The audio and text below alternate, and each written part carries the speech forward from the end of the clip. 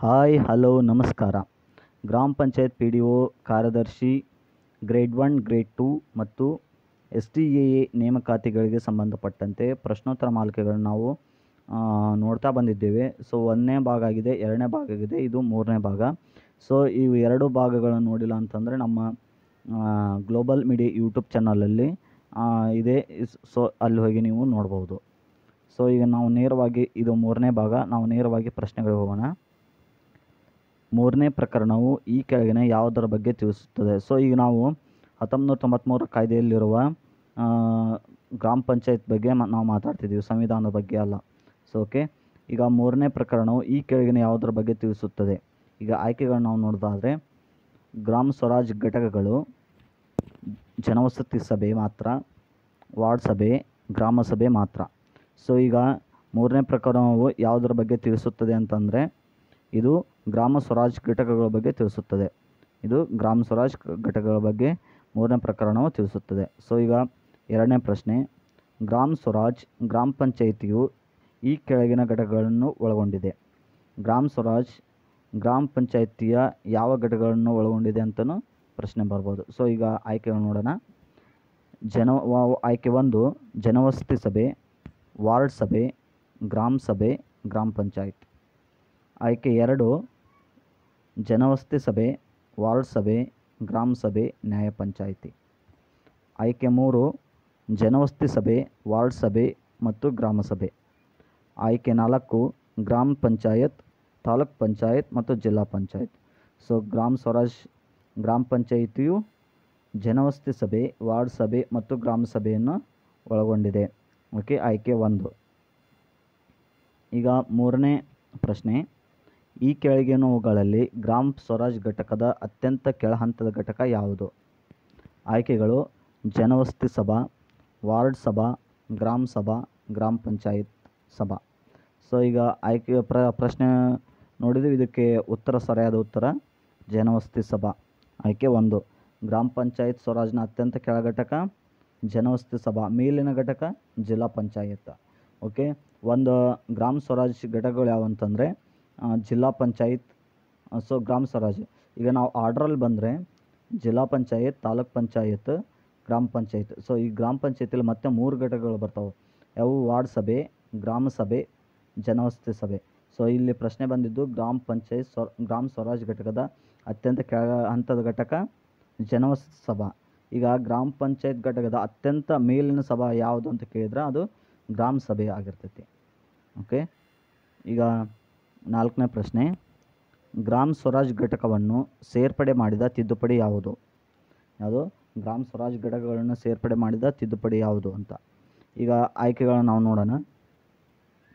ಮೂಲ ಅಧಿನಿಯಮ ಹತ್ತೊಂಬತ್ತು ನೂರ ತೊಂಬತ್ತ್ಮೂರು ಪಂಚಾಯತ್ ರಾಜ್ ತಿದ್ದುಪಡಿ ಎರಡು ಸಾವಿರದ ಮೂರು, ಪಂಚಾಯತ್ ರಾಜ್ ಎರಡನೇ ತಿದ್ದುಪಡಿ ಎರಡು ಸಾವಿರದ ಹದಿನೈದು, ಪಂಚಾಯತ್ ರಾಜ್ ಮೊದಲನೇ ತಿದ್ದುಪಡಿ ಎರಡು ಸಾವಿರದ ಹದಿನೈದು. ಸೊ ಈಗ ಆಯ್ಕೆಗಳನ್ನ ಪ್ರಶ್ನೆ ನೋಡೋಣ. ಇದು ಉತ್ತರ. ಪಂಚಾಯತ್ ರಾಜ್ನ ಎರಡನೇ ತಿದ್ದುಪಡಿ, ಎರಡು ಸಾವಿರದ ಹದಿನೈದು. ಸೊ ಈ ಪಂಚಾಯತ್ ರಾಜ್, ಇದನ್ನು ಪಂಚಾಯತ್ ರಾಜ್ ಎರಡನೇ ತಿದ್ದುಪಡಿ ಎರಡು ಸಾವಿರದ ಹದಿನೈದರಲ್ಲಿ ಆಗ್ತೈತಿ. ಇದನ್ನು ರಮೇಶ್ ಕುಮಾರ್ ವರದಿ ಅಂತಲೂ ಕರೀತಾರೆ. ಸೊ ಈ ಪಂಚಾಯತಲ್ಲಿ ವಾರ್ಡ್ ಸಭೆ, ಗ್ರಾಮ ಪ, ಗ್ರಾಮ ಸಭೆ, ವಾರ್ಡ್ ಸಭೆ ಮತ್ತು ಜನಸಭೆಯನ್ನು ಇರಬೇಕು ಅಂತಂದು ಅದು ವರದಿ ಮಾಡ್ತೈತಿ. ಯಾವುದೋ ರಮೇಶ್ ಕುಮಾರ್ ವರದಿ. ಅದನ್ನು ನಾವು ಪಂಚಾಯತ್ ರಾಜ್ ಎರಡನೇ ತಿದ್ದುಪಡಿ ಎರಡು ಸಾವಿರದ ಹದಿನೈದು ಅಂತ ಕರಿತೀವಿ. ಓಕೆ ಈಗ ಐದನೇ ಪ್ರಶ್ನೆ. ಗ್ರಾಮ ಸ್ವರಾಜ್ ಮೂರು ಮೂರು ಘಟಕಗಳನ್ನು ಸೇರ್ಪಡೆ ಮಾಡಿದ್ದು, ಈ ಕೆಳಗಿನ ಯಾವ ಸಮಿತಿ ಶಿಫಾರಿನ, ಶಿಫಾರಸಿನಂತೆ ಅಧಿನಿಯಮಕ್ಕೆ ಸೇರ್ಪಡೆ ಮಾಡಲಾಯಿತು. ಸೊ ಆಗಲ್ಲ ನಾನು ಹೇಳಿದಲ್ಲ ಅದೇ? ಸೊ ಅದು ಯಾವುದು ಅಂತಂದ್ರೆ ರಮೇಶ್ ಕುಮಾರ್ ಸಮಿತಿ. ಓಕೆ ಈಗ ಆಯ್ಕೆಗಳು ನಾವು ನೋಡೋಣ. ಸೊ ಆಯ್ಕೆ ಒಂದು ನಂಜಯ್ಯ ಮಠ ಸಮಿತಿ, ರಮೇಶ್ ಕುಮಾರ್ ಸಮಿತಿ, ಎಂ ವೈ ಗೋರ್ಪಡೆ. ನಾಲ್ಕನೇದು ಎಂ ವೀರಪ್ಪ ಮೊಯ್ಲಿ ಅವರ ಎರಡನೇ ಆಡಳಿತ ಸುಧಾರಣಾ ಆಯೋಗ ಶಿಫಾರಸಿನ ಮೇಲೆ. ಗ್ರಾಮ ಸ್ವರಾಜ್ ಮೂರು ಘಟಕಗಳನ್ನು ಸೇರ್ಪಡೆ ಮಾಡಿದ್ದು ಅಂತಂದು ಇಲ್ಲಿ ಆಯ್ಕೆಗಳು ಇರೋ ಇರೋದು. ಸೊ ಅದಕ್ಕೆ ಸರಿಯಾದ ಉತ್ತರ ಆಯ್ಕೆ ಎರಡು, ರಮೇಶ್ ಕುಮಾರ್ ಸಮಿತಿ. ಓಕೆ ಈಗ ಆರನೇ ಪ್ರಶ್ನೆ. ಗ್ರಾಮ ಸ್ವರಾಜ್ ಸೇರ್ಪಡೆಗೆ ಮುಂಚಿತವಾಗಿ ಇದ್ದ ಹಂತಗಳು ಎಷ್ಟು? ಗ್ರಾಮ ಸ್ವರಾಜ್ ಸೇರ್ಪಡೆಗೆ ಮುಂಚಿತವಾಗಿದ್ದ ಹಂತಗಳು ಎಷ್ಟು? ಅನ್ ಈಗ ಸಾವಿರದ ಒಂಬೈ ಎರಡು ಸಾವಿರದ ಹದಿನೈದರಲ್ಲಿ ರಮೇಶ್ ಕುಮಾರ್ ವರದಿ ಬರ್ತೈತಲ್ಲ, ಆ ವರದಿಗಿಂತ ಮುಂಚೆ ಎಷ್ಟು ಹಂತಗಳು ಇದ್ದಿದ್ದು ಅಂತ ಪ್ರಶ್ನೆ ಇಲ್ಲಿರೋದು ಸೊ ಆಯ್ಕೆಗಳು ನೋಡೋಣ. ಆಯ್ಕೆ ಒಂದು ವಾರ್ಡ್ ಸಭೆ ಮತ್ತು ಗ್ರಾಮ ಸಭೆ. ಆ ವಾರ್ಡ್ ಸಭೆ ಮತ್ತು ಗ್ರಾಮ. ಆಯ್ಕೆ ಎರಡು ವಾರ್ಡ್ ಸಭೆ ಮತ್ತು ಜನವಸತಿ ಸಭೆ. ಆಯ್ಕೆ ಮೂರು ಜನವಸತಿ ಸಭೆ ಮತ್ತು ಗ್ರಾಮ ಸಭೆ. ಆಯ್ಕೆ ನಾಲ್ಕು ಗ್ರಾಮ ಸಭೆ ಮತ್ತು ಗ್ರಾಮ ಪಂಚಾಯಿತಿ ಸಭೆ. ಸರಿಯಾದ ಉತ್ತರ ಆಯ್ಕೆ ಒಂದು ವಾರ್ಡ್ ಸಭೆ ಮತ್ತು ಗ್ರಾಮ ಸಭೆ. ಈ ಎರಡೇ ಆಯ್ಕೆಗಳು ಎರಡೇ ಹಂತಗಳು ಇದ್ದಿದ್ದು. ರಮೇಶ್ ಕುಮಾರ್ ವರದಿ ನಂತರ ಇದು ಗ್ರಾಮ ಸಭೆಯನ್ನು ಮತ್ತು ಗ್ರಾಮ ಗ್ರಾಮ ಪಂಚಾಯತಿಯನ್ನು ಮೂರು ಹಂತಗಳಾಗಿ ವಿಭಾಗವನ್ನು ಮಾಡ್ತಾರೆ. ಓಕೆ ಈಗ ಏಳನೇ ಪ್ರಶ್ನೆ. ಅಧ್ಯಾಯ ಎರಡರ ಮೂರು ಈ ಪ್ರಕರಣವು ಈ ಕೆಳಗಿನ ಯಾವುದರ ಬಗ್ಗೆ ತಿಳಿಸುತ್ತದೆ? ಅಧ್ಯಾಯ ಎರಡರ ಮೂರು ಎ ಪ್ರಕರಣವು ಈ ಕೆಳಗಿನ ಯಾವುದರ ಬಗ್ಗೆ ತಿಳಿಸುತ್ತದೆ? ಆಯ್ಕೆಗಳು, ಆಯ್ಕೆ ಒಂದು, ವಾರದ ಸಭೆಯ ಪ್ರಕಾರಗಳು ವಾರದ ಅಲ್ಲ ಅದು ಸಾರಿ ವಾರ್ಡ್ ಸಭೆ ಆಗಬೇಕದು ವಾರ್ಡ್ ಸಭೆಯ ಪ್ರಕಾರಗಳು ಮತ್ತು ಅಧಿಕಾರಗಳು ಆಯ್ಕೆ ಎರಡು, ಜನವಸತಿ ಸಭೆಯ ಪ್ರಕಾರಗಳು ಮತ್ತು ಅಧಿಕಾರಗಳು, ಗ್ರಾಮ ಸಭೆಯ ಪ್ರಕಾರಗಳು ಮತ್ತು ಅಧಿಕಾರಗಳು, ಆಯ್ಕೆ ನಾಲ್ಕು, ಗ್ರಾಮ ಪಂಚಾಯತ್ ಸಭೆಯ ಪ್ರಕಾರಗಳು ಮತ್ತು ಅಧಿಕಾರಗಳು. ಸೊ ಇದಕ್ಕೆ ಸರಿಯಾದ ಉತ್ತರ, ಆಯ್ಕೆ ಎರಡು, ಜನವಸತಿ ಸಭೆಯ ಪ್ರಕಾರಗಳು ಮತ್ತು ಅಧಿಕಾರಗಳು. ಇನ್ನು ಪ್ರಶ್ನೆ ಎಂಟು, ಜನವಸತಿ ಪ್ರದೇಶದ ಜನಸಂಖ್ಯೆ ಎಷ್ಟು ಇರಬೇಕು? ಸೊ ಜನವಸತಿ ಪ್ರದೇಶದ ಜನಸಂಖ್ಯೆ ಎಷ್ಟು ಇರಬೇಕು ಅಂತಂದರೆ ಆಯ್ಕೆಗಳು, ಆಯ್ಕೆ ಒಂದು ಒಂದು ನೂರರಿಂದ ಎರಡು ನೂರ ಐವತ್ತು ಜನಸಂಖ್ಯೆ. ಆಯ್ಕೆ ಎರಡು ಒಂದು ನೂರರಿಂದ ಮುನ್ನೂರ ಐವತ್ತು ಜನಸಂಖ್ಯೆ. ಆಯ್ಕೆ ಮೂರು ಒಂದು ನೂರರಿಂದ ನೂರ ನಲವತ್ತು ಜನಸಂಖ್ಯೆ. ಆಯ್ಕೆ ನಾಲ್ಕು ಒಂದು ನೂರಿಂದ ಎರಡು ನೂರು ಜನಸಂಖ್ಯೆ. ಸೊ ಇದಕ್ಕೆ ಸರಿಯಾದ ಉತ್ತರ ಆಯ್ಕೆ ಎರಡು ಒಂದು ನೂರಿಂದ ಮುನ್ನೂರ ಐವತ್ತು ಜನಸಂಖ್ಯೆ ಇದ್ದರೆ ಅದು ಆವಾಗ ನಾವು ಅದನ್ನು ಜನವಸತಿ ಪ್ರದೇಶ ಅಂತ ಜಿಲ್ಲಾಧಿಕಾರಿಗಳು ಏನು ಮಾಡ್ತಾರೆ? ಘೋಷಣೆ ಮಾಡ್ತಾರೆ. ಸೊ ಅದಕ್ಕೆ ಪ್ರಶ್ನೆ ಇರ್ಬೋದು ಅಂತ ನೋಡೋಣ. ಓಕೆ ಈಗ ಒಂಬತ್ತನೇ ಪ್ರಶ್ನೆ.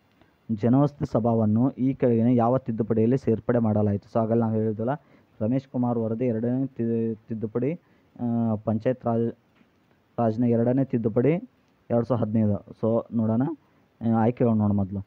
ಆಯ್ಕೆ ಒಂದು ಹತ್ತೊಂಬತ್ತು ತೊಂಬತ್ತ್ಮೂರರ ಮೂಲ ಅಧಿನಿಯಮ ಸೇರ್ಪಡೆ. ಆಯ್ಕೆ ಎರಡು ಎರಡು ಸಾವಿರದಲ್ಲಿನ ತಿದ್ದುಪಡಿಯನ್ನು ಸೇರ್ಪಡೆ. ತಿದ್ದುಪಡಿಯಲ್ಲಿ ಸೇರ್ಪಡೆ.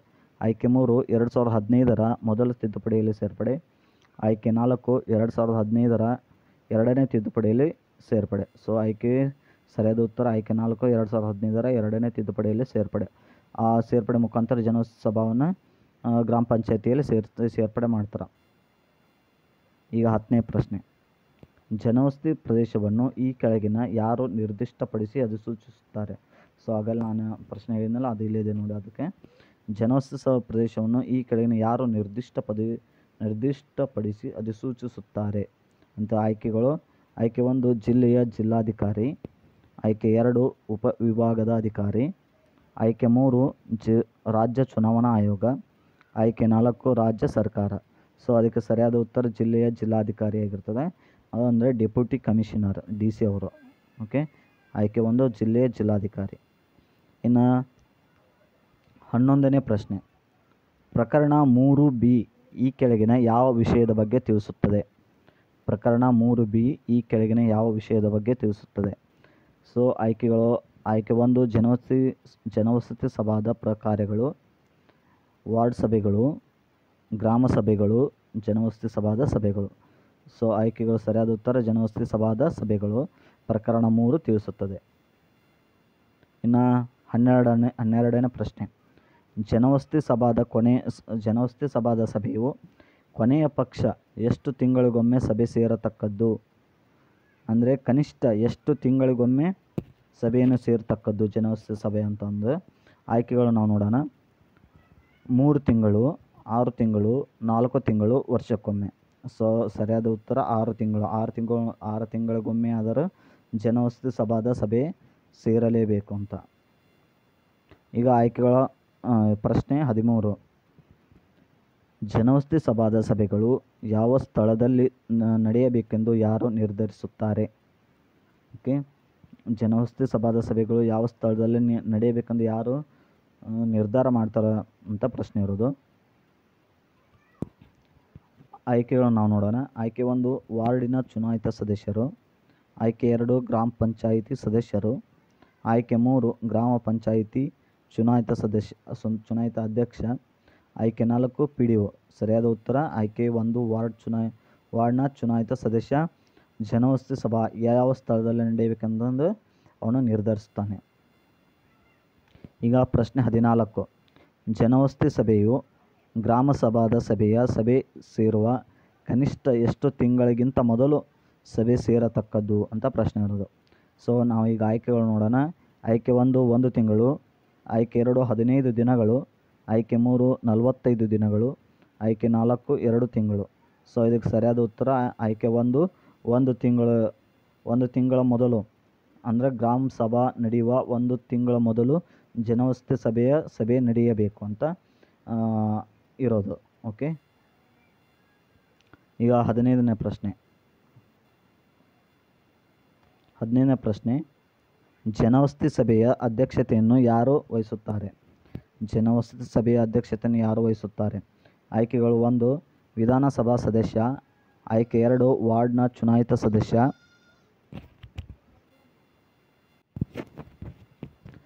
ಆಯ್ಕೆ ಮೂರು, ತಾಲೂಕ್ ಪಂಚಾಯಿತಿ ಸದಸ್ಯ. ಆಯ್ಕೆ ನಾಲ್ಕು, ಜಿಲ್ಲಾ ಪಂಚಾಯಿತಿ ಸದಸ್ಯ. ಸೊ, ಇದಕ್ಕೆ ಸರಿಯಾದ ಉತ್ತರ, ವಾರ್ಡ್ ಚುನಾಯಿತ ಸದಸ್ಯ. ಗ್ರಾಮ ಸಭೆಯ ಸಭೆಯನ್ನು ಕರೆಯುವನು ವಾರ್ಡ್ ಸಭಾ, ವಾರ್ಡ್ನ ಚುನಾಯಿತ ಸದಸ್ಯ. ಅದರ ಅಧ್ಯಕ್ಷತೆಯನ್ನು ವಾರ್ಡ್ನ ಚುನಾಯಿತ ಸದಸ್ಯನೇ ಮಾಡ್ತಾನೆ. ಓಕೆ, ಹದಿನಾರನೇ ಪ್ರಶ್ನೆ.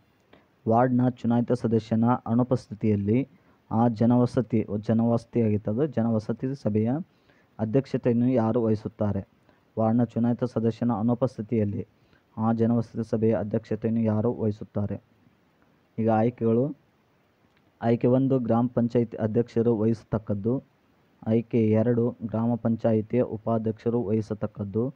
ಆಯ್ಕೆ ಮೂರು, ಆಯಾ ಜನವಸತಿ ಸಭಾದ ಮತದಾರನು ಅಧ್ಯಕ್ಷತೆಯನ್ನು ವಹಿಸತಕ್ಕದ್ದು. ಆಯ್ಕೆ ನಾಲ್ಕು ಪಿ ಡಿ ಒ ಅಧ್ಯಕ್ಷತೆಯನ್ನು ವಹಿಸತಕ್ಕದ್ದು. ಸೊ ಇದಕ್ಕೆ ಸರಿಯಾದ ಉತ್ತರ ಆಯ್ಕೆ ಮೂರು. ಆಯಾ ಜನವಸತಿ ಸಭಾದ ಅಧ್ಯಕ್ಷನು ಅಧ್ಯಕ್ಷತೆಯನ್ನು ವಹಿಸುತ್ತಾನೆ. ಯಾವಾಗ? ಚುನಾಯಿತ ಸದಸ್ಯನ ಅನುಪಸ್ಥಿತಿಯಲ್ಲಿ. ಓಕೆ ಇನ್ನು ಆಯ್, ಪ್ರಶ್ನೆ ಹದಿನೇಳು. ಜನವಸತಿ ಜನವಸತಿ ಕೋರಂ ಎಷ್ಟಿರಬೇಕು? ಇದು ಮೋಸ್ಟ್ ಇಂಪಾರ್ಟೆಂಟ್ ಜನವಸತಿ ಸಭೆಯ ಕೋರಂ ಎಷ್ಟಿರಬೇಕು ಅಂತ. ಆಯ್ಕೆಗಳು ನೋಡೋಣ. ಆಯ್ಕೆ ಒಂದು. ಕನಿಷ್ಠ ಮೂರನೇ ಒಂದು ಸದಸ್ಯರು ಅಥವಾ ಇಪ್ಪತ್ತು ಸದಸ್ಯರು. ಆಯ್ಕೆ ಎರಡು. ಕನಿಷ್ಠ ಇಪ್ಪತ್ತರಲ್ಲಿ ಇಪ್ಪತ್ತನೇ ಒಂದರಷ್ಟು ಸದಸ್ಯರು ಅಥವಾ ಹದಿನೈದು ಸದಸ್ಯರು. ಆಯ್ಕೆ ಮೂರು. ಕನಿಷ್ಠ ಹತ್ತನೇ ಒಂದು ಸದಸ್ಯರು ಅಥವಾ ಹದಿನೈ, ಹತ್ತು ಸದಸ್ಯರು. ಆಯ್ಕೆ ನಾಲ್ಕು. ಕನಿಷ್ಠ ಐದನೇ ಒಂದು ಸದಸ್ಯರು ಅಥವಾ ಇಪ್ಪತ್ತು ಸದಸ್ಯರು ಆಯ್ಕೆ ನಾಲ್ಕು. ಐದನೇ ಒಂದು ಸದಸ್ಯರು ಅಥವಾ ನಲವತ್ತು ಇಪ್ ಸಾರಿ ಇಪ್ಪತ್ತು ಸದಸ್ಯರು. ಕನಿಷ್ಠ ಐದನೇ ಒಂದು ಸದಸ್ಯರು ಅಥವಾ ಇಪ್ಪತ್ತು ಸದಸ್ಯರು, ಇದು ಜನವಸತಿ ಸಭಾದ ಕೋರಮ್ ಆಗಿರ್ತೈತಿ. ಇನ್ನು ಹದಿನೆಂಟನೇ ಪ್ರಶ್ನೆ. ಜನವಸತಿ ಸಭಾ ಸದಸ್ಯರಲ್ಲಿ ಅನುಸೂಚಿತ ಜಾತಿ ಮತ್ತು ಅನುಸೂಚಿತ ಪಂಗಡಕ್ಕೆ ಅಂದರೆ ಎಸ್ ಸಿ, ಎಸ್ ಟಿ ಪಂಗಡಕ್ಕೆ ಸೇರಿದ ಎಷ್ಟು ಜನಸಂಖ್ಯೆ ಇರಬೇಕು ಅಂತ ಪ್ರಶ್ನೆ ಇರೋದು. ಓಕೆ ಈಗ ಆಯ್ಕೆಗಳು ನೋಡೋಣ.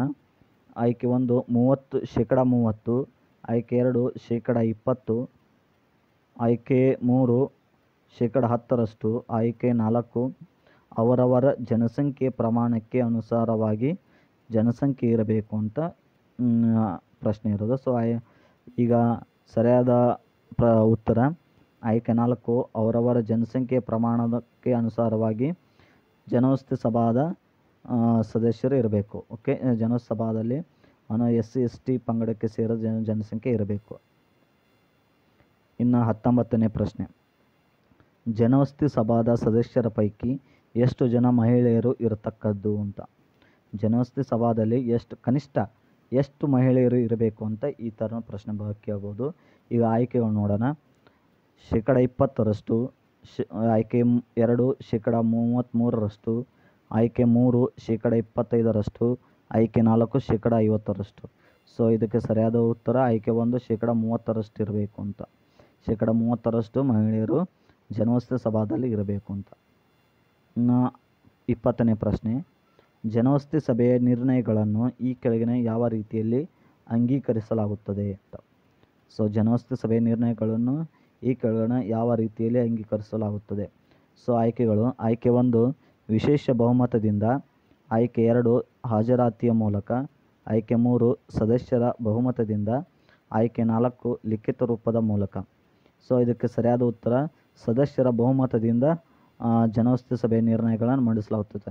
ಈ ಜನವಸತಿ ಸಭೆ ಅಷ್ಟೇ ಅಲ್ಲ, ಈ ಜನವಸತಿ ಸಭೆ, ವಾರ್ಡ್ ಸಭೆ, ಗ್ರಾಮ ಗ್ರಾಮ ಸಭೆ, ಈ ಎಲ್ಲ ಸಭೆಗಳಲ್ಲಿ ಬಹುಮತದ ಮೂಲಕ, ಅಂದರೆ ಸದಸ್ಯರ ಹಾಜರಿರುವ ಸದಸ್ಯರ ಬಹುಮತದ ಮೂಲಕ ನಿರ್ಣಯಗಳನ್ನು ಅಂಗೀಕರಿಸಲಾಗುತ್ತದೆ. ಓಕೆ ಈ ಈ ಈ ಸಂಚಿಕೆಯ ಇಪ್ಪತ್ತೊಂದನೇ ಪ್ರಶ್ನೆ ಮತ್ತು ಕೊನೆಯ ಪ್ರಶ್ನೆ, ಗ್ರಾಮ ಸಭೆಯನ್ನು ನಡೆಸುವಂತೆ ಸಂವಿಧಾನದ ಎಪ್ಪತ್ತ್ಮೂರನೇ ತಿದ್ದುಪಡಿಯಲ್ಲಿ ಯಾವ ವಿಧಿ ಹೇಳಲಾಗಿದೆ?